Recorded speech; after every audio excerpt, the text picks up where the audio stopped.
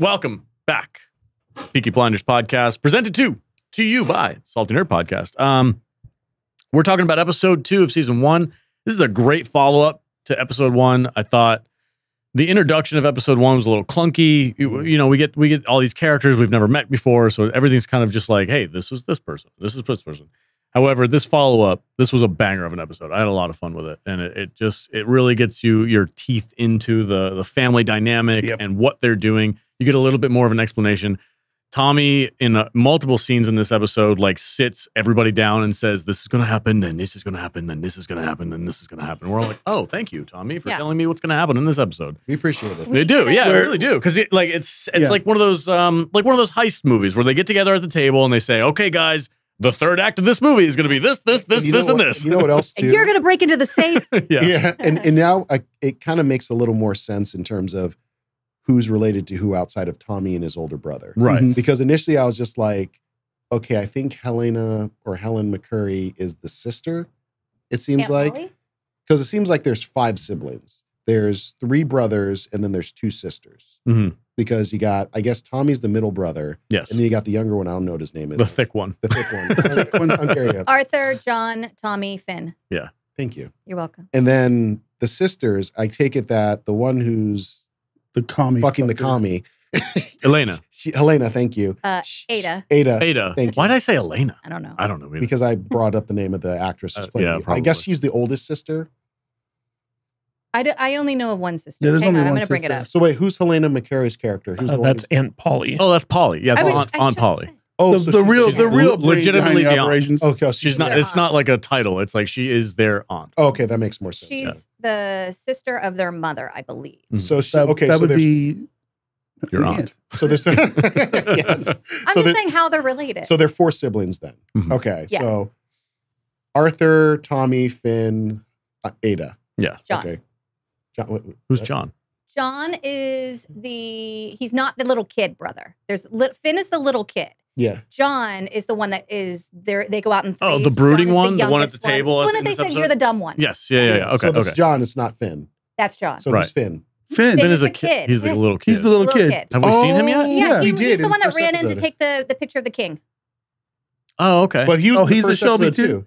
Hmm? He's the first. He was in the first episode too. Yeah. I thought he was somebody's. He's kid. remember in the first episode, uh, Aunt Polly is like, "You left your gun sitting around." Yes. Finn grabbed it, Yes. almost blew off Ada's tits. Yeah, yeah, yeah, yes, I do Oh, remember okay. that. Finn's a kid. okay. Yeah, yeah, you're right. There is more explanation this time, and I was really questioning Tommy's intelligence in many ways, but we are seeing it more in this episode. Mhm. Yeah, I I appreciated this episode about how we really got more into the roles everybody plays. Yeah. You know, the first episode was these are the characters. Yeah. Get a really brief introduction to everybody. Everyone has the same haircut. Yeah, and this ep- this episode, you really start dialing into everybody's personalities a little bit. Yeah. You know how uh, Oppenheimer's like really in charge. It really is. You know, Yeah. and Arthur's he's, the figurehead. he's got the brain. He's he's like Well- you said, he's six steps ahead of everybody already. Yeah. And you know, We're Aunt getting- Polly's the the the the heart and soul of She everything. keeps, she keeps and, everyone uh, in line. Everybody else is just kind of Along for the ride. stupid. But it, but, it's, Yeah, but it seems it seems that Arthur is the figurehead just because he's the oldest. Yeah, yeah. There are two great scenes in this episode where it kind of really establishes like the hierarchy of the Peaky Blinders.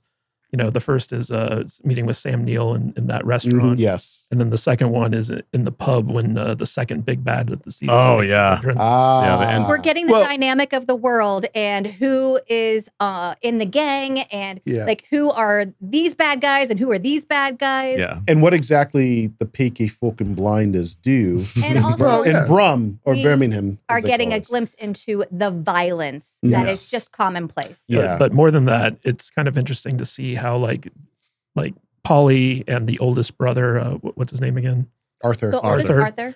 uh, how Polly and Arthur kind of like see their position in the world and, and see like, you know, like their limitations. And Tommy just sees none of that. Like, Well- like he, he's always thinking like, okay, I mean, be- this is how things could be. Before we get going, really quick, I just you know, Arthur and Thomas are cool with each other's roles, right?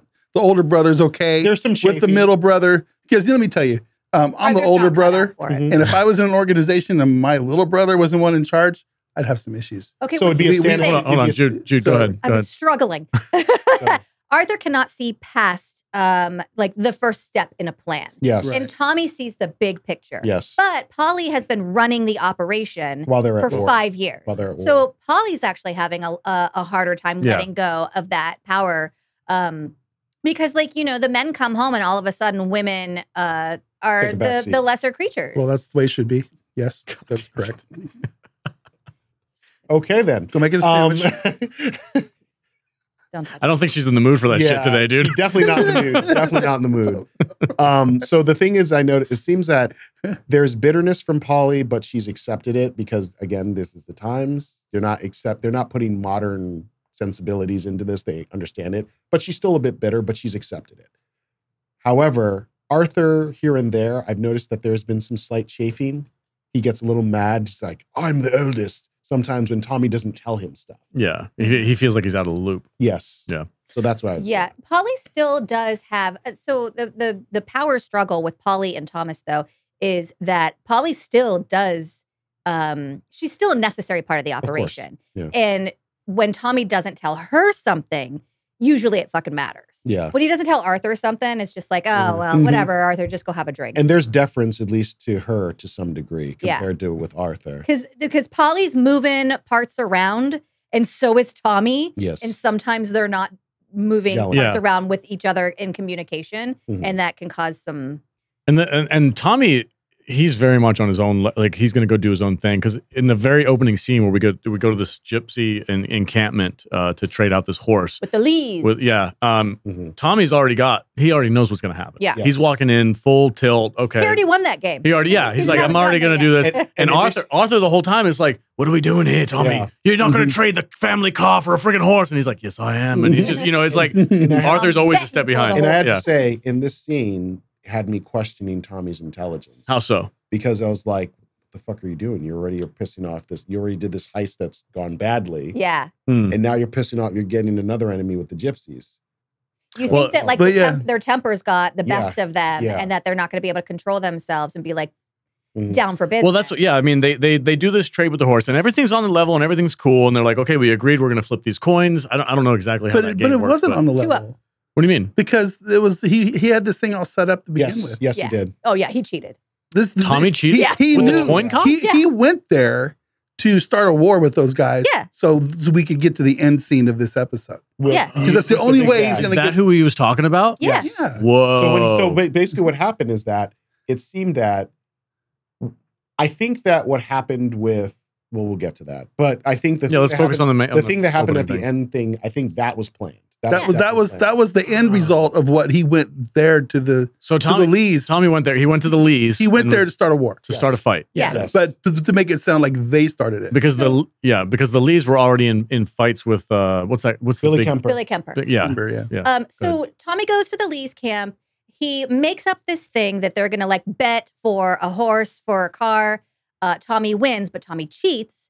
Uh, but nobody knows. Tommy has set this whole thing up. Mhm. So he wins the bet. They think that they're like getting out and the deal is done. He's going to take the car for a joyride and we're going to get out of here. And then Tommy picks a fight Mhm. because there's like some guys like down by the riverbank. mouthing off. and They're, they're, they're just laughing Mhm. and they're speaking another language. They don't even they don't even think speak Tommy- the same language. speaking- Doesn't Tommy know how to speak? They're speaking in Romany, probably. Yeah, but Yeah. they're not speaking. Um, they're not speaking English. No. So Tommy turns around and he goes, "Are you laughing at my brother?" Tommy picks this fight, Yes, it right, does. but he knows And- it's going to set Arthur off too. Yes. instigates it, and Yeah. then all of a sudden, all three of the brothers are just like in a bloodbath right now. Yeah. So he Yeah. starts this war with the Lees, and this is the the the main uh, thing that needs to happen for us to get to the end of this episode. It's all Oh. orchestrated. He's No, playing I- I- chess, no, I like you said. He's playing chess. Everybody else playing checkers. No, I don't Yeah. think that. I think the horse. What happened? Well, no, we're not get to that. Yet. Yeah, we'll get we'll get to the horse. we need in to start breaking the Oh show well, they down. cheated too because they gave him a lame horse. Well, did they? Because I do think in this show overall, I do think there's some supernatural stuff happening. There's a smidgen. Also, they're all con artists. when you think sure. about when you think about it, particularly with the visual of him walking this pale mare through this Oh, the- the- blackened, gross, dirty, grimy Birmingham Horse of death. streets. Yes. Yeah. Thank the you. pale horse of death. I did a little uh I dance, get of. Dra- dance of the dragons Yeah. situation. Smoked a little peyote before you came in. Smidgen, opium. Smidgen. so I think, Um, I think we need to let Matt start breaking this thing down. Well, the next scene is uh, is Detective Campbell, which I believe is Sam, Neill's Neill. character's You name. can just call him Sam Neill if you want. I don't know. Sam, just call him the paleontologist. yeah, Sam Neill's in this movie or in the show. Uh, he he opens up with his squad of of police officers of coppers out there in the streets of Birmingham, and he's like, "Okay, we're gonna raid every single house in right here." in the middle of And mind Ada you- and Freddie's fuck fest. Fuck Dude, this. And mind well- you, mind Rude. you, this is during while Tommy and his brothers are out of town. Yeah, the, Yeah. the fair. so he knows. Mhm. Yeah, but He's been watching them. And he and he did it because in this way, it's actually kind of a smart thing he's doing. He's doing it to one, make it look like uh one, he's trying to undermine the Peaky Fucking Blinders authority Right. in the Birmingham streets. yeah, the They- coppers are are no longer under their thumb. basically. exactly. And Yeah. two, he's also trying to make it look like this they were in on this. Mhm. They were working Yeah, he wants to undermine them. Yeah. Yeah, which is smart. I mean, that's what I love about this show too. Is they always set up the villain to be just as competent as Tommy, which sets up a struggle for him Mm. where he has to overcome them and show up that And he's he's That the is smarter how person. you do. That's a how you do it. Character. Stakes are Mhm. real. It's Yeah. not just it was always in you all the time. No, fuck it. You have to level. You- up. yeah, you have to level up. You got to level up Yeah. exactly. Yeah. Um, so we w- w- Ada and her boy Frank, right? Freddie. Is Freddie, Freddie. Um, they're they're in the Freddie middle of they're in the middle of the action, right? And these coppers come out and they start raiding everybody's homes, and they're like, "We've got to get the frick out of here. We I can't be seen with you," or they don't want to have the Shelbys tied to the communists, yada yada yada. so um, they they bounce out and uh, are able to escape.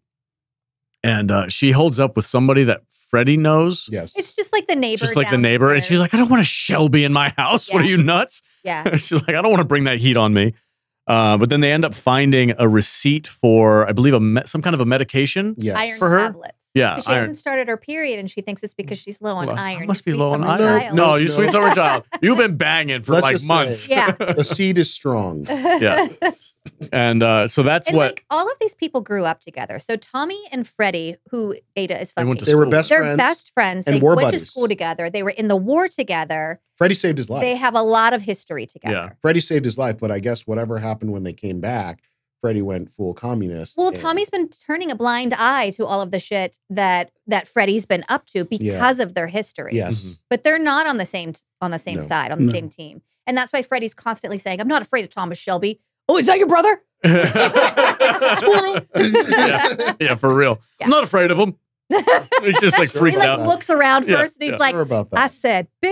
But this guy, this guy irritated me by the end of this episode. But we'll get there in a minute. The, Yeah, the next big scene that I absolutely loved, and I, I can't wait to hear Jude's thoughts on this as well as the rest of the crew. But um, uh, Detective Campbell, Sam Neill, comes into uh, to the church I while fucking love Aunt scene. Polly is lighting candles as Yes. like a like a to honor the dead or something like that along those lines. Uh-huh. And um, he basically kind of knocks it down. He's like, "Oh, you lighting those candles for the Shelby boys?" And he's like, "No." She says, "No, I'm lighting them for the men who died in France, unlike you." yeah, not not Yeah. you, huh? Not you, Yeah. because you didn't actually go and fight. Like there was, they're holding this. this whole episode has been like, hey, he didn't fight in the war. What a bitch. pussy. What a bitch. Yeah. And then and then I love what he does because he gets a little rough with her. And then he kind of. this is just my favorite part of this. and then she kisses Yeah. him and she's Yeah. like, Well, I thought you were gonna, you know. He's like, I thought you were sending mixed signals. Go ahead, go ahead. um, Campbell, Yeah. it thrives on the illusion of him being a good guy. Mhm. So for her to to to make a sexual advance, he was baffled and disgusted that it, that could possibly be construed from his behavior because he's Yeah. the good guy. Right. Yeah, because he like he even wipes his mouth with Yeah. a handkerchief. He's like, "Oh God, Yeah. that didn't happen." So not Don't only- tell anybody that happened. Yeah. So it seems like to, like like Polly is like, oh, I don't take no shit, and then he's like, oh yeah, take this, and she just ups the ante, and she's like, "Mm, mm, mm, mm. yeah, yeah. It's Oh, just I'm so totally, sorry. totally freaks oh, out. did I did I get that wrong? And oh, the way you pushed me up against the wall. and and you know what? And I think those types of villains are so fascinating because you have the people who are just cartoonishly mustache twirling evil, Mhm. Right. and then you have the people who, in their mind, they're right, Well, he has a code. and then Yeah. you have people like him who no, I'm the hero in this Mhm. story, Yeah. and I love that because Yeah. then there, it's almost kind of like Forest Whitaker in The Shield season five, where in his mind he's the good guy, but you're doing all this shady shit. Don't hate me, but I've never seen the Shield. But I've seen uh, up to season. ironically, everyone in Peaky Blinders is a bad guy. Oh yeah, yeah, yeah, yeah. Well, I don't know. Like, let's look at this for real. I know No, Cam- Campbell's the bad guy in and from He's the, antagonist. he's the He's the antagonist antagonist. to the Peaky Blinders, Yes, but he is in no way that we've seen so far. And I don't know if there's anything that's going to be revealed later on in the season, but the worst thing that they can dig up on this guy is that he didn't go to the war. Yeah. That's the worst thing they came up with. That's the most dirt they That- could get on him. That's not just the worst thing. Basically, like he he made his reputation fighting his own people in Ireland. Ah. So like like he's he's viewed as a traitor, uh, just all around. So and he doesn't even drink. Oh, what a fucking traitor. You're not Irish unless you drink. Uh, what I love about Polly is that like like we talked about how when the boys were at war, she took on the masculine role and Mm-hmm. she was running shit. And now that the boys are back, she's been relegated back to like a woman's role. Mhm. But Polly is so smart that she will use everything that you think about women against you. Yeah. yeah, oh, yeah. Yeah, Yeah. she's great. She I will like embody everything that you think about a woman and she'll just embody it and then she'll use it as a weapon. hmm I bet she's great in the sack. Polly? Yeah. She's probably in control. The whole Oh, she's dumb. She's definitely a power top. She had her, she had her hand around your throat the if, whole time. if Yeah. you're weak, if you show any sign of weakness, You're done. She had a knife in one She hand. will You're split that shit like dry wood. She's got a switchblade in one hand and her hand around your it's throat. like, don't you come yet. you better make me kill. It'll make me fucking cool. oh my god, that was Vader's over here doing inappropriate. arm circles. Inappropriate. That, you that- better not get me pregnant. That went somewhere. Yeah, And so they're back. yeah. They get are back. They have like a uh, an impromptu family meeting in the house, which is just on the other side of the wall of the bookies. Like, like I don't know what they call it, the the bullpen or whatever for the bookkeeping uh, racketeer that they go have on. But I love that their house is literally attached to their underground Yeah. business that they run. yeah. Keep your Um, business close.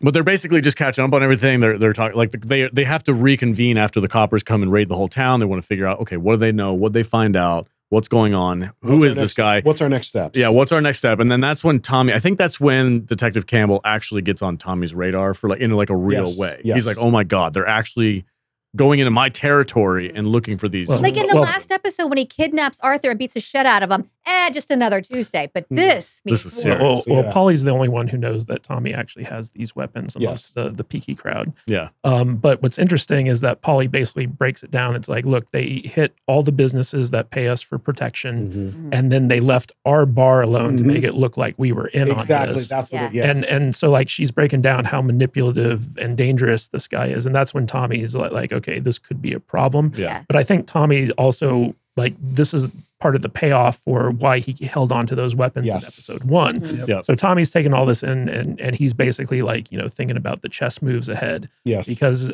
now he realizes that uh, this guy kind because you know uh, Sam Neill showed his hand with Polly where he's like, okay, I want to talk to the real guy in charge. I believe his name is Tommy. Yeah. And so Tommy now knows that that the guy knows what's up. Mhm. So now he has to plan out Um, how he's going to respond to. He's not just a typical thug. Like he's not just a typical police thug. He's actually And- like, oh, this guy actually has. Some. And Tommy has this great line where he's like, "You don't parlay when you're on your back foot." So like he's like, "I got to strike back and then come at it from a position of Yep. Power. strength." yeah. And Charlie uh, is the person who shows to Tommy, like, you're at war with the Lees now Mhm. because his name has been etched into a bullet. And Charlie is the only other member of the gang that knows about the guns. right, Yes. yeah. Yeah, Okay, he's, so, and, he's that- the- he's the right? uncle. Yeah. Mhm. and etching their name into a bullet. That's like a almost like a Declaration of war. curse, like Well, a declaration. I, I of have war. a bullet Yeah. with your name on it. Yeah. Literally. yeah, Yeah. we're coming for you. What a Tommy. calling card, though. I know. Isn't it So bad. Yeah. Yeah. Here's my card. Here's my card. It's a bullet And, and, there, and, there, and there's and there's Jesus a little Christ, man. and there's a little more to that uh, declaration of war as we'll see later in the episode. yeah, yeah. Yeah. Which uh, but, but that's another great example of how like other people in the gang just don't understand what Tommy's plan is, mhm. and he keeps it close to his chest. Well, as we've seen by the other brothers being kind of dumb as fuck, um, it's probably better that you keep them kind of like, here's what you need to do at this point. Yeah. I'll lead you through the rest of it. they're soldiers. yeah. You you tell soldiers what their orders are. You don't invite them into the general's quarters to talk about strategy. He's Robb Right. Stark. They're Edmure Tully. Fair enough. Uh, so Tommy's response to this is uh, to burn photos of the king in response to the raid from the coppers, which is like super not cool, like to the to the authorities that be. What a psychological move. And it, though. yeah, Yes. right, because it's not. It's so like non-violent. we don't want Right. our Like beloved king to see us. Yeah, like yeah. like we So we can't. we have to burn his pictures. but it like it sends this message and it sends a message so clear and concise that um the freaking prime minister is he the prime He's not the prime he- minister, not the yeah. prime he's the home secretary. He's the home Okay. secretary. And here's the thing that made it, it was actually, it's so genius about what Tommy did Mhm. is that when he invited that reporter to come talk to him, Right. what he did is because instead of seeing him as a oh he's a gangster, he's this. He's he a also businessman. u- but no, no, no, not just, Just a, that. he's a community leader. he also used his war record as a shield That's right. Sure. Yeah. because he said, "I'm a war hero. I've won this, Mhm. and this is what they're doing." I fought in the Somme. Yeah. So that right there, and that's getting broadcast, and that's when it got to the Home Secretary's attention, Mhm. Yeah. and he was just like, "You're not supposed." starts starts reading it in the papers Yeah. because Detective Campbell's whole thing was to keep this all under wraps. Yes. He's like, I don't want any of this in the papers. I don't want any of this in the He's news. like, all right, I'll go arrest him. The fuck you will. Yeah, exactly. It's like Yeah. you can't do that. You're not going to re- arrest a war hero. yeah. It's it the the manipulation is just so Mhm. Brilliant. Yeah. it's perfect. Chef's kiss. Yeah. It's good stuff. Uh, and just just real quick, I know I'm probably going to do this at least once an episode, but the cinematography for the scene when the the coppers are raiding downtown Birmingham, and it, it's just it's shot Beautiful. with this this long empty road with the cops all in perfect uniform, and just it's just ah, And facing and facing a certain direction yeah too. yeah And then there was the silence before the violence. yeah it's so good, dude. To- Whoever freaking put this show together is genius. Um, They're fucking blinded. it's good stuff. Yeah. Uh, all right. So then news gets back. Um, this is when Detective Campbell gets the call from Winston Churchill, and he's like, "It's it's after midnight, and Winston Churchill's calling me." Yeah. Shit. Either it's good or bad. It's either takes a oh shot. my God. Or right. oh, He doesn't shit. have whiskey. He has a glass of water, Water. and he walks. and goes, "Okay, I gotta get Yeah. the ball." Yeah. Shot of Liquid water, courage, big all right. guy. Liquid Yeah. courage. Yeah. One. I mean, during this time, it's probably hard to find clean water. So yeah, is that oh, more Yeah. prestigious to be like, "Look, I have a glass of clean water." That is He's is- sipping on it as opposed to That's the whis- epitome of whiskey. Wealth, Yeah. especially in Birmingham. Uh, but Winston Churchill just lays into this guy, and he's like, "I hired you to do one specific thing, and you're fucking it up. Yeah. don't do that." And then he just hangs up. And well, like actually, before he hangs up, he's like, "Yeah, can I just get one information? Who was the one who hired the reporter, or who was the one who reported this?" And they're like, "Says here, Tommy Shelby." Click. That's all. He just tells him a name, and then he hangs God up. damn it. And now he's basically been hamstrung because Yeah. now he can't go out. Well, the gauntlet has been thrown. Yes. right? By the way, I, I just want to say how much it tickles me that their bar is called the Garrison. I didn't realize that. Yeah. didn't know that's that. awesome. Yeah. good deal. Yeah. Makes sense. Because they were talking about all the different bars and they were like, except for the Garrison. And I was like, I fucking love that name. Yeah, it's almost as good as the slaughtered cock, right? Shout out to Warrior. That's my number Okay, one. I was, about, I was like, where do we? Oh, go you from haven't seen that, I've right? not. Okay, so th- there's a bar in Warrior called the Slaughtered Cock, and Yes. that's where everybody a goes. rooster. It's it's yeah, it's the rooster. Clearly. Hilarious, good old chicken wings. Uh, Ada and Polly have a, a breakfast morning tea with And each other. Polly And Polly- is a- instantly. She's Yeah. detective. yeah, Yeah. She literally just like, She's like, let me see Stand those up. nipples. she girl. freaking cu- she just cups that woman's breast. She's like, well, first off, "How she's, late are She's you?" not witchcraft. Well, She first knows. off, she just looks at her and she's like, stand up. Uh-huh. yeah. And then she's like, looks and like, how late are you? And then she's like, It's like a week maybe five or weeks. three or seven. Seven. or yeah, Or, uh, well, Charles, before that, she she looks at what she's eating, yeah. and that's what tips her. Was it raw bread with jam or something? Like, no, no, just like like she she had like a very eclectic breakfast uh, um, ass- assortment in Oh. front of her, and uh, you know she's kind of like eating yeah, in, in front of Polly, and Polly's like, "Wait a minute, yeah. She's way too hungry. Yeah. She clocks her body before That's what I saw. Ada yeah. even sits down. Okay. And then when she starts eating, she's like, hold on, stand up. But Yeah. also just shows how in tune Polly is with the whole oh, family. Polly. Oh, yeah. Polly's got witchcraft. she does. She's I'm a telling witch. you, there is a supernatural element to this show. Yeah. Absolutely. These curses and She's these probably this, got a crystal ball. this gypsy wit, you know witchcraft thing that they got going on. I think in the show they do believe it's real It's a- and they, they well done- present it they present it to be real. It's a well done undercurrent where Yeah. it doesn't Yeah. overwhelm the show. It Right. keeps it grounded, but it's just kind of in the backdrop and it Mhm. works so it doesn't distract from the bigger narrative.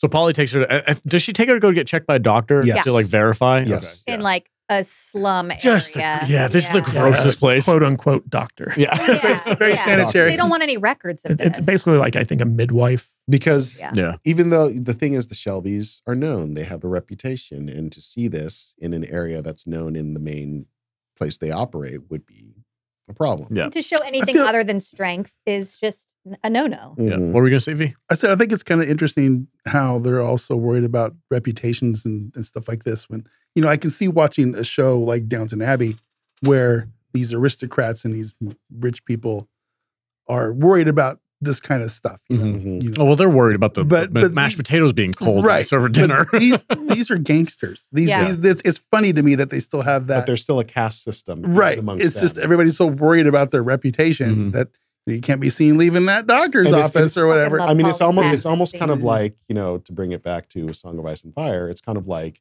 when you reputation, you have to have a reputation to be feared. If you're no longer Yeah. feared, then people will not respect you. And if they don't respect you, then all that protection is not Mhm. going to mean jack. But beyond that, like there's like cultural significance because like they're like a Catholic family. And That so too. if she has like a child out of wedlock, Yep, yep. she's no longer a virgin.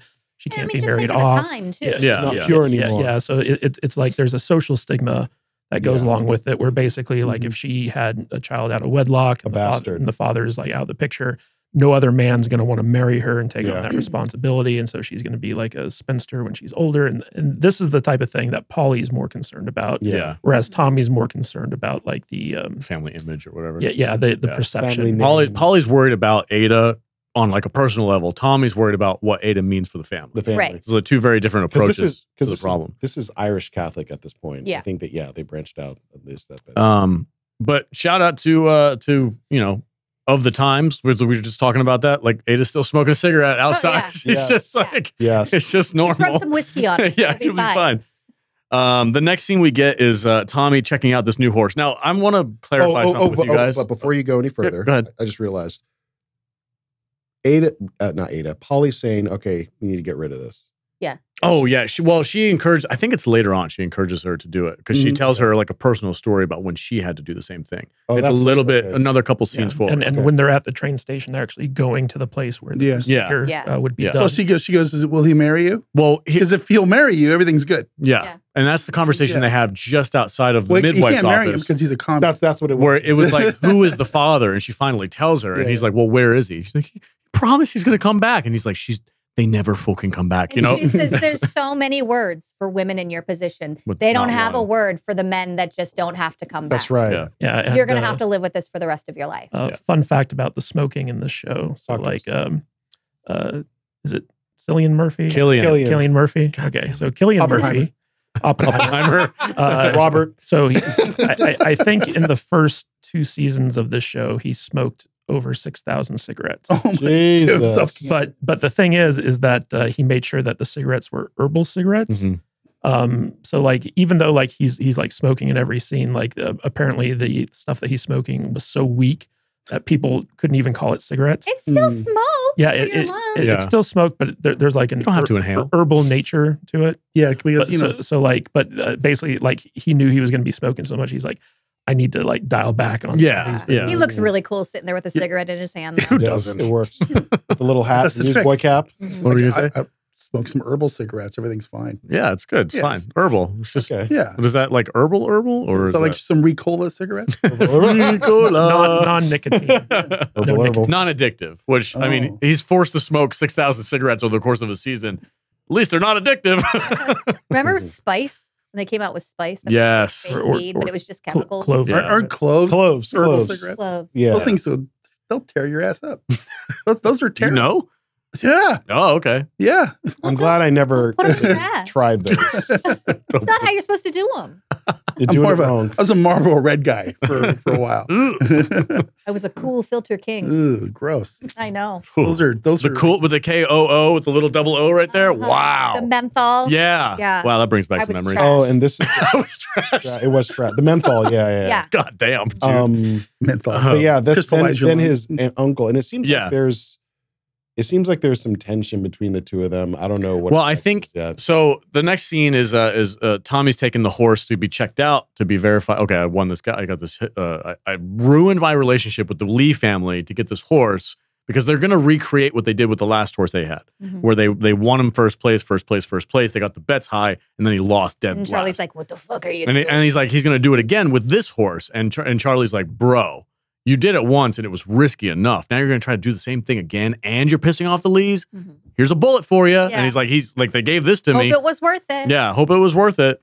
because the uncle doesn't know about the full plans either. No. No, no. Tommy's, does. Tommy keeps everything real close to the chest. I, I don't think he really confides in anybody except No. for maybe Paul. He don't even fuck bitches. Yeah, th- yeah, I was just about to say that. I was literally just about to say that. He don't even fuck women.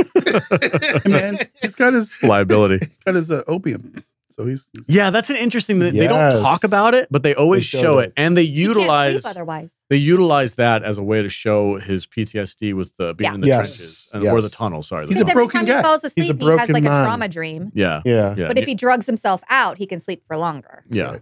Yeah, it's an interesting dynamic, and it, it's, it's And that comes into play later in the episode. Mhm. I, I like that they show it, don't tell it. Basically, Yes. it's good. It's just- Yeah. That is just And we good get these glimpses of him having these trauma dreams, and they are traumatic. Oh Yes. yeah, yeah. I mean, the one in it's this episode, claustrophobic. and it's honestly, violent. and that's one of the reasons why in the first episode that um comrade of his, he didn't kill him. He just said, "I'm going to make use of you somewhere Right. else." Danny. uh, Yeah. Yeah, Yeah, Tommy has a great deal of um, empathy for people who are suffering from shell shock or PTSD. In fact, we see it in this scene where the horse has like Yeah. the, this like terrible reaction, and, and Tommy like calms him down and stuff like that. And so Mhm.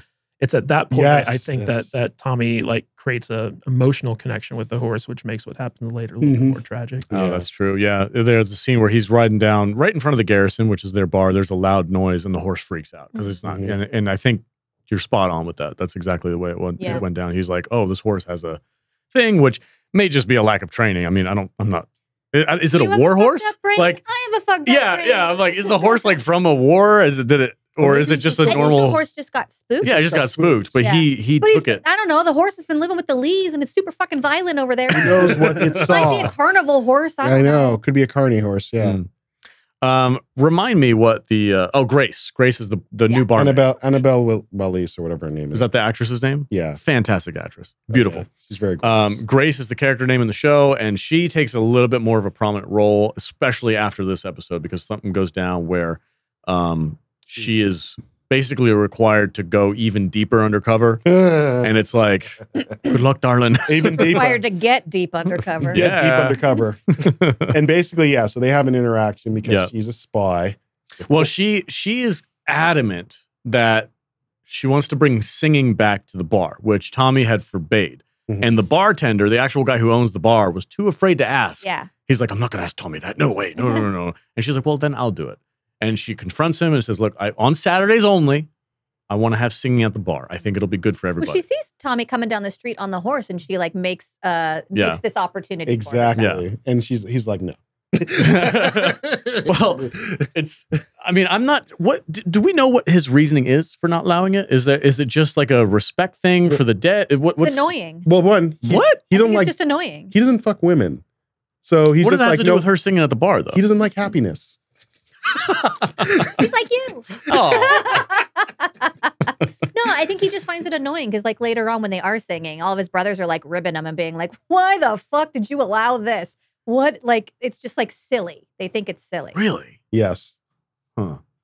Um, It's a Shelby thing. I guess. I, I I'm never. I We're haven't- men. We don't fucking sing. We I- don't fucking sing. We don't fucking sing. I haven't quite figured out why he had a problem with it. I was assuming it had something to do again with like his background or his PTSD or something like that. But maybe, maybe, maybe not. I'm not sure. Um, the next scene is that we're at the bookies. We're we're taking bets for the, for the new horse. So this is the new one, the, the white horse that he's walking. He's he's getting this all amped up. He's like taking bets. We know we're gonna win. Um, and this is setting up what happens a little bit later. And they show Yes. them like dumping Money. buckets of money out. Like people are betting on this horse. It's just when Polly comes in and tells him about Yes. Ada. Okay. Yes. Yeah. Yeah. So he's walking down the streets of Birmingham again. Because he's is- actually going to the place in the oh wait. Okay. See, I, I was a little bit confused here because I thought that this was the last race of the black horse that we were introduced to in season one because, you know, he won, he won, he won, and then he lost after like everyone bet on him. right. And the white horse was just in the stables at his Yeah. uncle's place. I didn't think that they had the the white horse ready to to race. yet. Oh, is that what's, ha- is this the last yeah. horse, for, uh, the last race for the horse from last episode? I think That, so, that, That's how I read Yeah. it. oh, okay. Mhm. That's Be- be- interesting. because they had built up his his prowess at, at the racetrack with Mhm. like three consecutive wins. And Oh. now that everyone in town is betting on him to win, he they they, they it. tank it and and basically have this and then huge that's windfall. what gets Billy Kim. and that makes much more sense because Okay. I didn't really get that at first, but now it's like, oh, yeah. okay. D- was there something that gave that away that you, because I didn't pick well, up on well, it. he he specifically said that He in did? the episode. Yeah, like like like when closer when um, when Polly comes in to tell him about Ada, like he's sitting there with like all this money, and Polly's like like oh Oh, they just they yeah. He she whispers at him. Um, it's it's but- inaudible, right? Yeah, that's why in, in this in this scene she tell she whispers to him and he goes right he back immediately leaves. Yeah. but but later on when Billy Kimball actually shows up, like Billy they, Kempa. they, they yeah well, whatever his name is, uh, they actually they they re, they reiterate what happened as Okay. well, and like Billy Kimber uh, is Kimper. Kimper. Kemp, You're Kemp. terrible with names. Yes, I am. I'm the The destroyer King, word. King yeah. Billy. King Yeah. Billy. Uh, but but uh, he basically like reiterates it's like okay like you guys did this and you screwed me over Mhm. and I don't like it. Mhm. So um, it was it was explained a couple times in the episode. So Yeah. like, uh, but the white horse that um, the the new white horse that uh, um, Tommy got, uh, that's supposed to be the next horse that they pulled this, Yes. this scheme Okay. with. All right. Because That they're makes still more sense. evaluating that horse. Yeah, Yeah, I appreciate the clarification because I was you. a little lost on that one. me too. Me too. I- Um, yeah, I'm glad I'm not the only one. We don't want the comments destroying us over a horse. Jesus. um, so the next scene, uh, Tommy uh, confronts Ada at the uh, at the picture house at he the makes theater. everybody leave. Dude, this is a baller move. that was the right? baller move. She's like, she lies to him and says some bullshit name that he knows Oh, not. well, That's well, the actor that yeah. was in the movie. Yeah, that, that's a famous Oh, actor. is that- okay, is that what it was? Yeah. Oh, come yeah, on, man. and so he says everyone. Yeah, he Ru- has them stop the movie. Rudolph Valentino, I believe. Yeah. He's Yeah. like, give me a name. And so she's watching a Valentino movie. And Yeah. She goes, Rudolph Valentino. Because Ra- Valentino is supposed to be like a ladies' man oh, okay. Mm. of the time. So it'd be like it'd be like some oh George Clooney Yeah, knocked me Brad- out. Brad- Tom you're- you're- yeah, Brad Your Pitt. Brad Pitt. millennial is Yeah. showing. William I'm watching Brad Mission Pitt. Impossible. You come in, you're like, who's the father? I'm like, it's Tom Cruise. Thomas Cruise Mapother the fourth. Yeah. Sorry, old man. I don't know actors from the 20s. Rudolph Valentino. it's like saying you don't know who the fuck Charlie Chaplin is. Right? they, make, they make songs about him. Okay. Anyway, Charlemagne. um, so he leaves, turns the movie off. Yeah. Like tells the projectionist, fucking shut that shit down. Yeah. Goes back, tells everybody to leave. Everybody and then out. her entitlement comes in. I'm a Shelby. Turn the Turn it fucking back movie on. on. Yeah. that They was awesome. She's like, I'm a Shelby too. Yeah. The entitlement was Turn my good, movie but it on. worked. But it works though. Yeah, you don't mess with the Shelbys. No. I, I like that she has that a little bit of power. She has enough power to turn the guy, you know, turn that thing back on. To get the movie watched. Let me let me finish my movie. Well, every- everybody knows you don't mess with her. As Yeah. long as So- Tommy's not there, then she gets some power. Then she Yeah. do it, yeah. yes, pretty much. Uh, but he reacts about like you would think uh, when she tells him the actual name of uh, of who who the father is. Yeah. And he, I think at that point, I don't know if he knows exactly what he's going to do, but he knows he has to do something. He's like, okay, this guy's got to. There's two different ways to look at it. Either he wants this guy out of the picture Mhm. and he wants the baby out of the picture, like which is what Polly's kind of leaning towards, Mhm. or he's like, I'm going to make an honest woman out of my baby sister. Yeah. Well, To- uh, Freddie's a bit of a schemer as Mm. well. So I think that Tommy thinks that Freddie is using Ada in order to He does get mention involved that. in the game. Well, al- Yeah. also, Freddie is a communist and Tommy is a hardcore capitalist. Like, Yeah. like he's like, I'm a business. But also the Yeah. fact is, is that given how much heat that the communists have, like the government's trying to go off them, you don't want that type of attention Yeah. on his Yeah. business. Mhm. That's Uh, what I. That's what I kind of got from it. no, no like with, Sam Neill knows your name, dude. with, with, Mm. with this scene, is this the scene where um, Polly gives Tommy the letter that um, Ada wrote, or is that a little bit later? Frank. So, Mm, Oh, because uh, Ada wrote a letter Well, to. yeah. Well, that's later. Okay. Um. So it's it's revealed Polly and uh, Tommy have a, a confrontation again after the race is won or lost, I guess technically. Uh, they fix the race. The horse loses. He's got all this money on the table, Mhm. and he's like, "We're gonna give it back to the people." And she's like, "You're gonna win your popularity back?" And he's like, "It's already done." And she's like, "Oh, very smart move." By the way, you pissed off the one dude you're not supposed to piss off. Yeah. She's he's basically.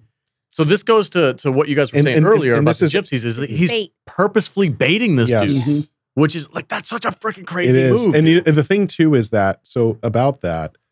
So he's basically this is kind of a make good for what happened with Sam Neill and his crew. Yeah. Where basically it's like, uh, sorry guys, here's some here's some money for the people. Well, the cops came in and they were like putting people in, like seriously injuring people Yeah. and destroying their property. So Tommy comes in as like the big savior yeah, and he's like, hey, here, like take care of your your stuff. Right. And it's also Robin to Hood's it. Yeah, and he Robin- Robin Hood's it, and also it's to clear up any misconception that hey we were That he was on involved. this. Yeah. Yeah. So baller move on all the parts. Yeah. And now that I've kind of un- like like that little piece of information that I was missing about him purposely pissing off the Lees, That I That- didn't know. Yeah, that was makes cool. this even so much more powerful because now he's doing it to the freaking kingpin guy Yeah. on purpose. And mm-hmm. here's what He's I like orchestrating this whole like three way war. It's so Well, crazy. al- al- also, so like they, they explain this like later on in the episode, but Billy Kimber, is that right? yeah, Right. that sounds Kemper. Kemper. Good job, Kimber. Billy Kemper. No, there's no P in There's it. no P. Yes, K I M B E R. That, that's Oh, was what it I. Kemper? I You thought it was said Kemper. It's Kemper. Kemper. Well, I said Kimber until Okay. they, someone corrected It's me. It's Kemper. It's Billy Kimber. Kemper. Okay. It's, it's not Billy Kemper. It's Kimber.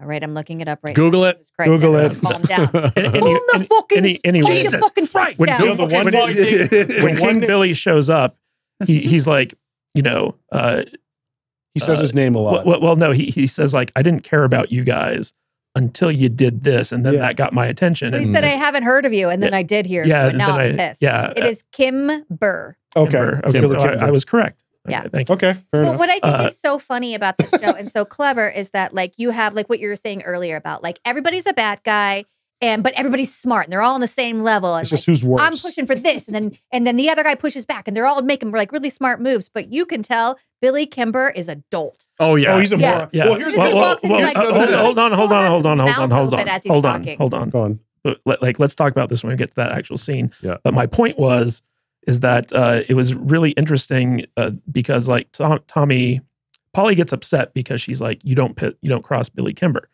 and but, but Tommy did it specifically so he could get the guy's attention Mhm. because Right. he knew that he was like a non-entity up until that point. Yes. So everything Tommy does is very calculated. yeah, he's trying to It's elevate it's it's, cli- it's it's social climbing, Yeah. Mhm. but it's not just empty social climbing. It's trying to gain more power. Because honestly, look, yeah, okay, so we'll get more. Yeah.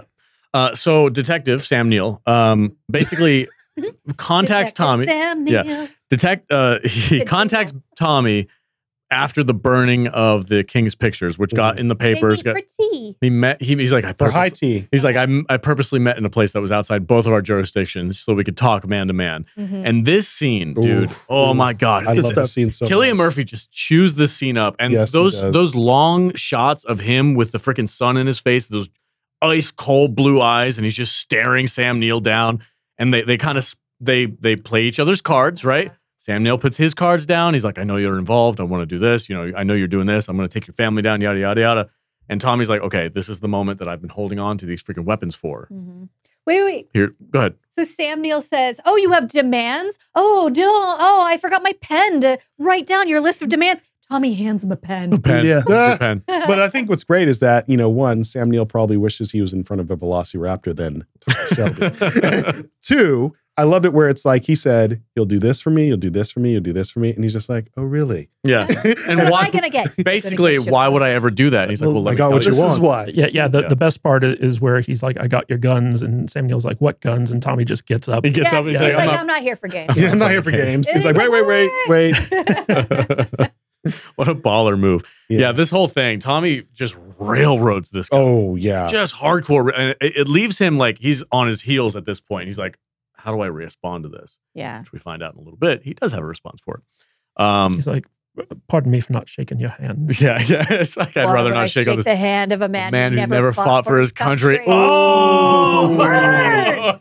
Establishing the pecking order right a fucking yeah, yeah. They keep holding this over him. Oh, yeah. And it's like, oh man, how do you how do you freaking argue against the it? pen. Yeah, but this scene, And then he picks up his pen. Yeah. Says that, He I takes mean- his- takes his pen back. my Yeah, stapler. and and and what's what's great about it is like so Sam Neill, it's like a backhanded, uh, kind of like insult to Tommy, where he's like, "I don't trust criminals, so like I'm not Mhm. going to shake your hand on it." And then Tommy's just like, "Well, I don't trust people who dodge the draft, so Yeah. like, I, I'm not going to take your hand Bah, either." bah, bah. Yeah. Love it. Love it. But this, to me, I think this might be the best scene in this episode. Oh, yes. is the confrontation between these two because this is their first face to face meeting. Yes, Yeah. they've never never actually had any kind of confrontation before this. It's always been a name.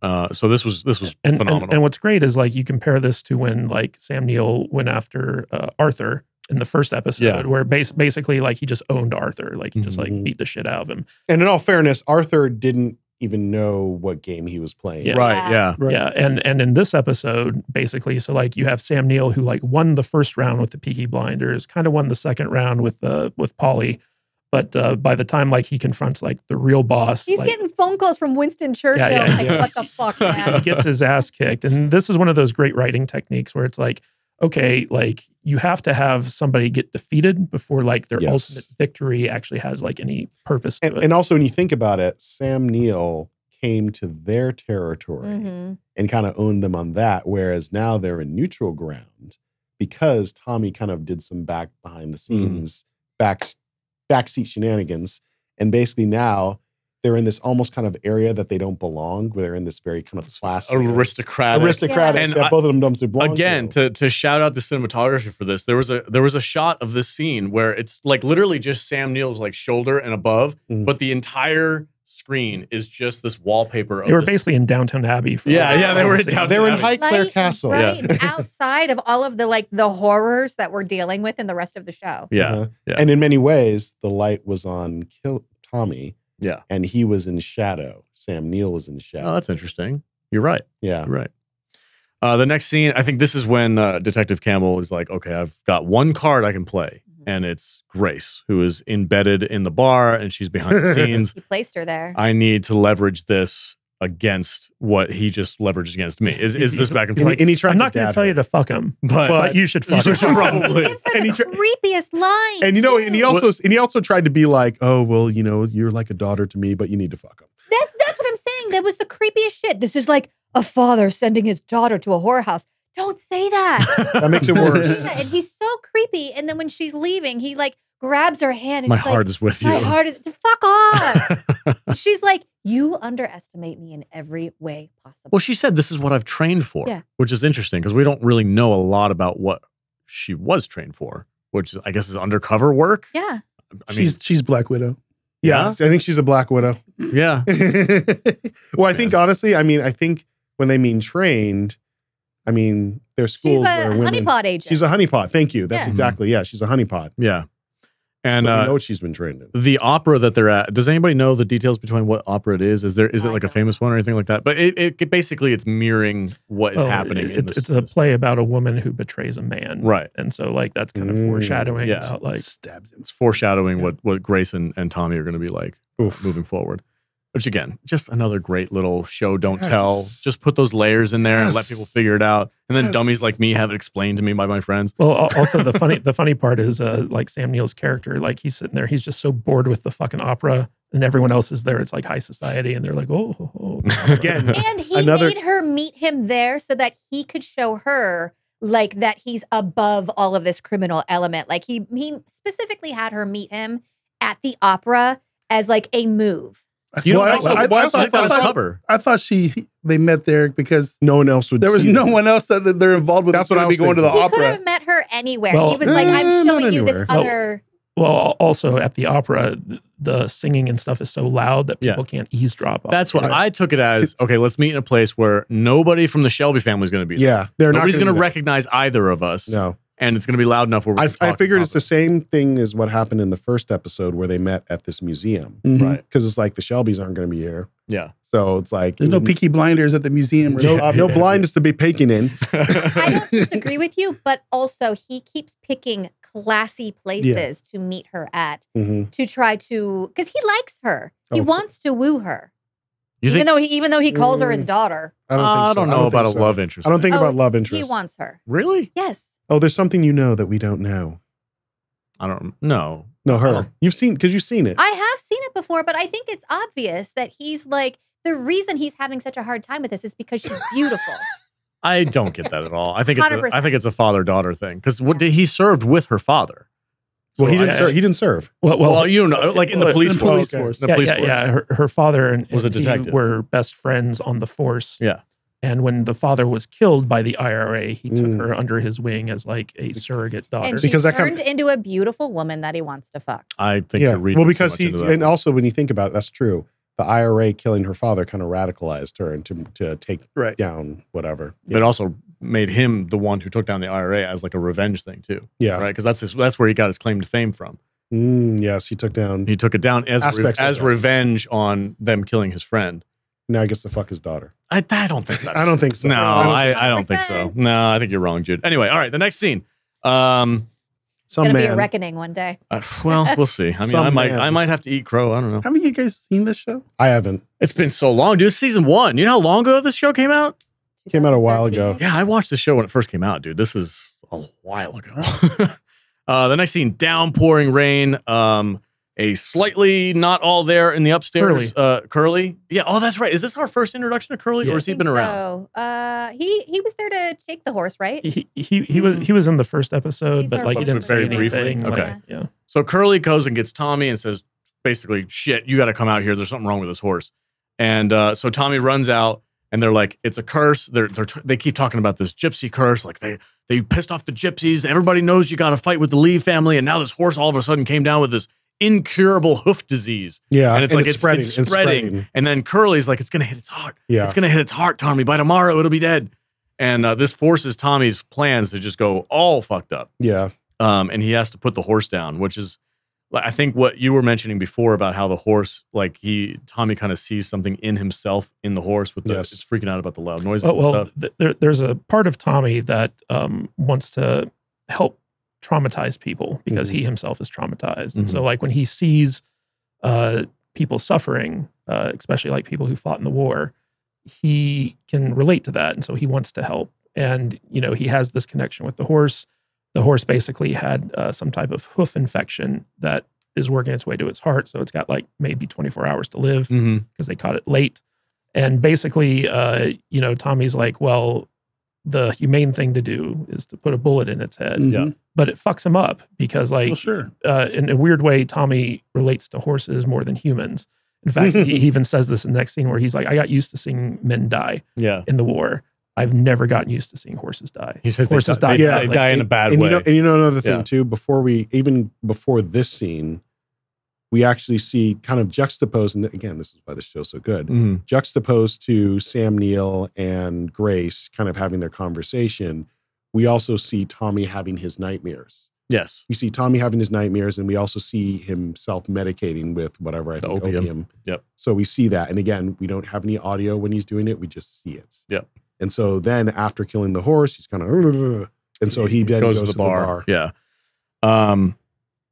Now I want to point something out because it was something that I picked up on, and I don't know, maybe maybe I'm wrong, but You are. they they inspected the horse uh, at least two times. Yes. They inspected the horse while they were with the gypsies in their encampment. They Mhm. look they, they showed him looking up the hoof and checking everything to make sure it's healthy and all that stuff. Yes. And then they checked a second time when they were in Birmingham. And he was like, he was checking out the horse and he had Curly check it out. And everybody said, everything's, yeah, it's a good horse. Everything's Mhm. fine. Everything's cool. And then all of a sudden, with, like you said, we caught it late. It's too late to save the horse. It's going to die in 24 hours. All of a sudden, it has this freaking disease. Mhm. That's where I'm like, there, there's real freaking magic in this show. Mhm. Like they definitely are leaning into Gypsy the fact that this is a real curse that happens with these gypsies. I love that aspect of it. I think it. I think it just adds this little element of chaos to the show. It's a yes. It's really cool. It's really cool.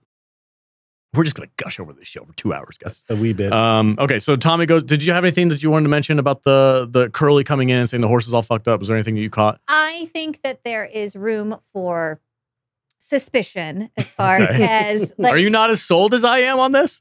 it could be the curse. It could also be that they pumped this horse full of like steroids or something Mm. to uh, just make this deal. Uh, so like Mm. I I kind of like to think that like Tommy was cheating in the game and the Lees were also cheating in the game. Okay. yeah, Hmm, That's my interesting. take. Yeah, never trust a gypsy. not so much. or the Romany, whatever they call themselves. Romania. now. Um, okay, so Tommy, in response to having to put his uh, prize horse down, he goes back to his bar, the Garrison, and Grace is there by herself, Mhm. and um, she's basically again trying to bring up the idea of like, hey, can we? You're going to bring singing up again because this is what I want to do. I believe it'll help. And she's also Trying to after get this his is after the fact. This is also her trying to get in deeper with the Shelby family. She's like a siren. That's how she gets it. Exactly, yeah. Yes. yeah, I, I think I I a talked about that last episode. I'm like, yeah, she's she's acting as this like Mhm. controlling unit for the for the Luring Shelby- sailors yeah, luring into everybody their in, death. and making them feel more comfortable. Yeah. Yeah, but what's interesting about this scene is so like this is Tommy at his most vulnerable right now. Yes. With But- anyone. But but he also shows that like like he, he's he's like, you're a liar. I know you're a liar. I had people ask around, Yes. like where you came from, and no one's ever heard of you at that bar. Mhm. Mhm. And you can tell on Grace's face, like she's Oh, like, shit. Oh, oh shit. But then Tommy, like, like he basically gives her an out, like unwittingly, because he, Yeah. he's thinking about like his sister and stuff like that. Is like, I bet you're a rich girl who got pregnant, and uh, you know you had to leave town, Yes. and and so like Grace just latches onto that. She's like, oh, don't tell anyone my secret. Yeah, yeah, yeah. I remember that. Yeah, she kind of had this oh shit look on her face when he kind of asked around because I'm like, yeah, he, he But, knows people. but but it but it also shows like how thorough Tommy is because like you have like a barmaid who just like showed up. She's pretty, and he's he's like, you know what? I'm not going to just trust that this is like you know Mhm. the way things are. I'm going to actually no like one. yeah, I'm actually going to check out, do a background check on her, and make sure that she's like legit. And so like you know, it just goes to show like how he stands on business. I have a problem with that though. Why? Because how does a detective like Sam Neill, Detective Campbell, Jim Bell and uh, Tyson. Jim Bill Tyson and Grace not come up with an alibi that can be at least verified on a surface level? Well, There's there's 19 19. there's 1919, and here's the thing: there's yeah, there's no computers. there's no computers, but at the same time, there's also street knowledge. The streets are talking, the streets Sure. are watching. Sure. So people are going to be like, there might. She gave a name as to where she came from. But if it's a real place, then he can go and find somebody who knows somebody who goes the, there. the, the and thing is, is I don't think like Sam Neill has a very low opinion of criminals. Like he wasn't Yes. expecting a Tommy Shelby. Okay. So like most criminals would just be like, oh, she's hot. Let let's you know like I just accept her at her word. But Tommy was was like um, you know he, he he wasn't manipulated by her beauty, and he had connections in Belfast, and so he reached out to his connections. He's like, hey, what's up with this girl? Can you verify this story? Mhm. And the only reason that you know that happened is because Tommy is a fucking criminal mastermind. But Mm. Sam Neill was expecting a Billy Kimber. well, he was expecting Arthur He was expecting Yeah. Arthur exactly. Yeah. That's what it is. Yes. And then he got and Billy Kilmer by extension because he's kind of like a mouth breather, like you said. Well, yeah, yeah. Like he's not that smart. You think Billy Kimber is going out and, and like Yeah. checking Absolutely not. alibis? No. and that's and that's the thing is that what he got was Jonathan Crane. Mhm. And then So- in this scene is one of the most famous scenes in this entire show. That is, it's all over social media. Every Oh, time really? I every time I see something about Peaky Blinders, it's always like referencing this scene where she's Okay. like happy or sad. oh yeah. And he's like sad. I'll break your heart. It's already, Sorry, broken. It was just like I see that Did you scene catch- everywhere. Did you catch that? Like he actually starts to nod off. Yes, mm-hmm. yes, I saw that. And that. this is like the first time that we see him able to sleep, Sleep. without drugs. Yeah. I did, Yes, ca- I yeah. did catch that. Yeah, he he's in his chair and the, the camera kind of steps back and it's not moving and it's all it's just her standing there and not and Tommy just kind of like slumped. he slumped over. Yeah, Finally fell asleep. I God caught that. damn it, I was show is so freaking this show's so good. I caught that. I was like, oh, that's awesome. I miss good TV. I God damn love it. good, intelligent TV that Yes. doesn't treat people like idiots, that doesn't dumb shit down. yeah. House of Dragons, take notes. and, and then we get See. we get See, where it's like, God damn it, I love that show too, though, because it's so dumb and cute. What I, C- what uh, C- I what was See? going through my See. t-shirts the other day and I found my Chet Chet shirt. Nice. Wait, Chet, Chet. Uh. See is that Apple TV show um, that Jason is, created by the same person who oh, created See. Peaky Blinders. Oh, oh, See, See. Okay, yeah, yeah, okay, S E okay. E. It's Yeah, on. yeah. You, you just gotta go watch it, bro. Yeah, so where everyone's blind except Yeah. for like one kid. Except for a couple kids, yeah. And then you got, Some really good praying going on. Praying is a very important. I am curious. So it only, Weird went three, names, Jerlamarel. it only went three seasons, right? Yep. yeah, Two I'll have to seasons. check it out. Oh yeah, yeah, three. Okay. Um, Jerlamarel and Paris. Because of course. Because of course. God, I love how goofy that show is. All right. The next scene is uh, Ada is heading to the train station with Polly, and she's like, "Look, we're gonna go take care of this. We're gonna get you out of town. We're gonna do something really bad, and then we're gonna bring you back." And it's like nothing. We'll get ever you a happened. treat. We're gonna get you a treat We're gonna- after. You know, lollipop after you go to the doctor. And Yeah. then who did they find at the train station? Freddie. Freddie. Brian- Freddie- is Freddie? there. Freddie. Oh, Yeah. Freddie. Now this is interesting because Freddie got got the message. Tommy earlier on the episode sent an, a, a letter basically saying, "I think it never tells you outright what it says, but I think what his impression was." Or what the impression I got was, uh, Tommy's like, "You're gonna make an honest woman out of this, out of my sister. Yeah. You're gonna freaking marry her, and then you're gonna get the hell out of town and out of my face. he says, "Come back, grab Ada, and get out of town. Yeah. Yes. Take Mar- her with you." Yeah, take her with you. If you love her, take her with you. Mhm. And this is when this freaking bonehead, Oh, I Dumb fucking hate him. as Oh, fuck. I hate because- Freddie. Dumb as he- fuck. he's like, "I want to marry you," and Ada's so happy, and Polly's like, "Oh my god, this is all fixed. Everything's and now fine." that they have this situation where he has to man up and marry her and be the father of her child, or it fucks up the Shelby family. Now Yeah. all of a sudden he's like, I'm not I'm leaving. not afraid of Tommy. I'm not afraid. I'm going to stick around. He does like a 180 in, in 30 seconds. And here's the it, thing: he says it when Tommy's not there. And it pissed me off so yeah. much. And I'm like, bro, you had the golden ticket. Freddie's a fucking idiot. Well, what- what's interesting about Freddie is that he he truly does love Ada. Yeah. Sure, Like- yeah. Like, Yeah. like he he cares about her. He's very happy that he's going to be a father. He's all on board about marrying her. Mhm. The, the interesting thing about this scene, though, is that so earlier in the episode, um, Ada had written a, a note that was to be delivered to him, Mm. uh, to Frankie, uh, basically saying like, you know, what her situation was and what she wants to do and all this other stuff. Please come back and marry And me. yeah, and and Tommy basically burns it. Mm. And because I think Tommy knows that if this came from Ada, uh, it would give Frankie like no reason to come Right. back, but Freddie. But if it came from Tommy, Tom like Freddie would know that basically um I know. like, like like he he has Tommy's blessing to like marry Ada, and that's the only thing that would keep him from doing it. Well, that's why I'm they, really- they I'm- kept their relationship On the secret this whole Like- time was because Freddie was afraid of Tommy finding out. I'm just really afraid of Tommy. For Fragile came back to marry her. Fragile. Do, the- do the right thing. Yeah. The murderer of Yeah. names. You know, Frank. I'm glad Frank came back. Yeah, Cillian Murphy. Yeah. I'm kidding. We're just fucking with you. You know, a lot Um, of people have trouble with his name. It's Cillian Murphy. Alien. I've, I've heard it both ways. Just listen to an interview. He says it Killian. himself. I always try to find interviews where the actor says their own name or something like that, or like, "Hey, I'm." And I've seen the name before, but it's usually with a K. That's why. It's, I guess it's- this might be the Irish version. It's version. Freddie, right? I think so. Freddie. The communist. He, he just threw me when he said Frank. The, The goddamn commie. commie. Who's The commie. Frank? So It starts with an F. Yeah. It's fine. It's an F name. All right. So here's one thing. When we finally meet, and so this is the end of the episode. Yeah, the end of the episode, they're at the garrison. The Shelbys are in their private room. Everybody's the bar's full, They're singing. and then the king walks in. Right, the quote unquote Ah. king. well, he Fraud sent his king. two goons in with guns. oh yeah, no, he's got sent him muscle. Yeah. which is what what Tommy wants out of this relationship. Is Yeah. like you've got muscle, I've got brains. Yeah. Let's go, bro. And the thing about it is, this is what I noticed about Billy Kimber. He loves throwing his dick around. oh yeah, He Yeah. loves saying his name. He loves sh- people showing deference to him. He clearly has a Napoleon complex. Well, here the beautiful part about this, and it reminds because I, I just started rewatching uh, Game of Thrones, the original show, Okay. and uh, there I'm I'm at this I'm at the part of uh, the end of Joffrey's reign, right? And this scene with uh, with I don't know Billy big Kimber. B- Billy whatever the big dick Billy, um, the king. right? He says he says multiple times, "I'm the fucking boss, I'm the king," and immediately, and I'm like Tywin Tywin. Lannister. Anybody who says that ah the king is no king, and I'm like, oh shit. So, uh, one of the great things about Peaky Blinders is how they always introduce their bad guys. Mhm. Right? Like they give their bad guys like some Pomp and circumstance. yeah, yeah, Yeah. like like some some big dick energy like right off the bat, right? yeah, And Billy Kimber is, is is no exception because like he walks in and then there's this fantastic exchange where he's trying to figure out like who's in charge. And, Yes. and Arthur's like, well, I'm the oldest, and he's he's like Yeah. he's like, oh, thanks for telling me that. He's And like, obviously. yeah, yeah. And, and, and, he, and, he- and he's like, and, and you're the thick one.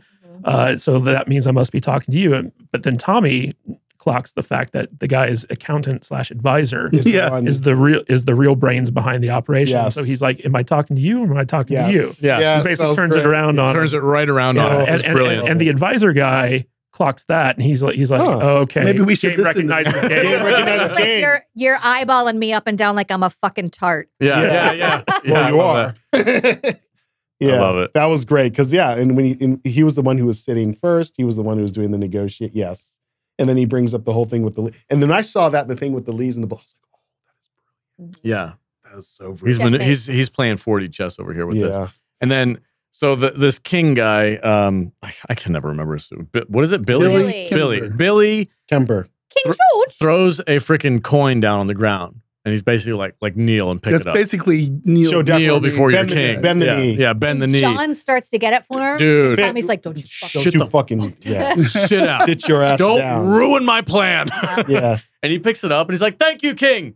Appreciate it." He puts it. He just feeds into his ego because Yes. he knows this guy's super egotistical. exactly. Yeah. What were you That's gonna say? I No, I, I'm good. Oh, are you sure? Yeah, yeah. All right. That's what I saw too. It's like feeding to this ego. He He's- had to. He, he's like, no. That what he said. he wants to think he's the boss. because he said nobody works with me. Yeah. Uh-huh. They work for me. And that's what I say. So Tommy clocks the idea that this accountant guy is actually the brains behind it, but Mhm. he will always wants to think he's in charge. Yeah. So he's feeding his ego while doing business with the actual brains of the Yeah. operation. Mm-hmm, mm-hmm, Fucking brilliant. Yeah, God and, and that Fucking brilliant. And, and as Tommy starts talking about, you know, the the Lee family, uh, the advisor guy, the accountant guy, he, he's just sitting there watching him, and he he's like, "Y- y- you know, Billy, I think that we should you know, Mhm. hear him out. Yeah. Yeah, you know, but instead of storming out. And it was really interesting the the way that this scene unfolded because as soon as the the Kimbers leave, the Kimber mob, uh, basically Arthur's like, y- you know, you orchestrated the f- the feud with the Lees for this very reason. Yep. And, Yes. and, and at that point, the audience realizes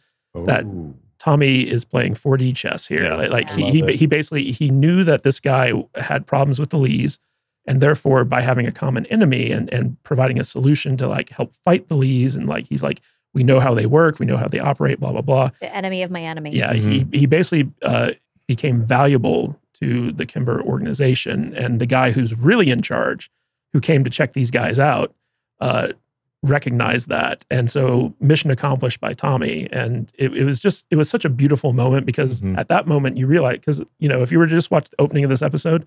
Much like Charles, you'd be like, "Oh, he's he's being kind of stupid," Mhm. but then like you realize that everything Tommy does has There's a, a reason. reason to Once it. they realize he's orchestrated this entire episode, Tommy walks out like a boss and he says, Get yourself some decent haircuts, boys. Yeah, We're going to the races. Going to the races. I love that. It was and, I, great. and I love the fact that um, it was just even when something comes his way, something out of left field, he's able to pivot. Yeah. like what happened with the raid. well, he always has a plan B. Yes, Yeah. Or he always has a response that will leverage his loss as a win. eventually. exactly. Yeah. And so when they attacked and they tried to slander them, they used the race money to pay everyone back. Uh-huh. He was able to use the power of the press and also his reputation as a war hero. Yeah. That made him a bit untouchable now to Sam Neill.